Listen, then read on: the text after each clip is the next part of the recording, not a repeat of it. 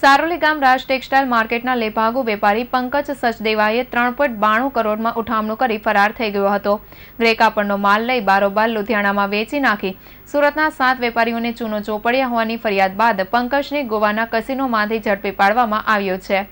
પૂછપરછમાં જણાવ્યું હતું કે તે જુગાર રમવાની ટેવ ધરાવતો હતો અને ફ્લાઇટ મારફતે ગોવા જઈ કસિનોમાં જુગાર રમતો હતો. પરતપાટિયા સારોલી ગામ રાજ ટેક્સટાઇલ માર્કેટના લેભાગુ વેપારી પંકજ સચદેવાએ ત્રણ પોઈન્ટ બાણું કરોડથી વધુનો ગ્રે કાપડનો માલ ક્રેડિટ પર લઈ બારોબાર લુધિયાણામાં વેચી નાખી. સુરતના સાત વેપારીઓને કરોડોનો ચૂનો ચોપડી. કાપડ દલાલ સાથે ફરાર થઈ ગયો હતો. આ અંગે વેપારી કૌશલ રાઠીએ ક્રાઇમ બ્રાન્ચમાં ફરિયાદ આપી હતી. જેના આધારે પોલીસે કાપડ વેપારી પંકજ રમેશચંદ્ર સચદેવા અને કાપડ દલાલ સરીન અરવિંદલાલ ચેવલી સામે ચીટિંગનો ગુનો નોંધ્યો છે. આ કેસની તપાસ ઇકોસેલને આપવામાં આવી હતી. કાપડ દલાલ સરીન ચેવલી મારફતે લેભાગુ વેપારી પંકજ સચદેવાએ વેપારી કૌશલ રાઠી પાસેથી કરોડોનો ગ્રે કાપડનો માલ ક્રેડિટ પર લીધો હતો.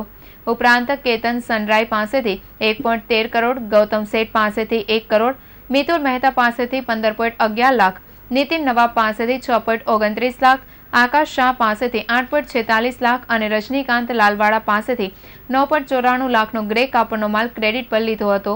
ટોટલ સાત વેપારીઓની પાસેથી ગ્રે કાપડનો રૂપિયા ત્રણ પોઈન્ટ બાણું કરોડનો માલ લઈ નાણાં ન આપી ફરાર થઈ ગયો હતો. પોલીસે ફરિયાદ બાદ પંકજને ગોવાના કસિનોમાંથી ઝડપી પાડવામાં આવ્યો છે.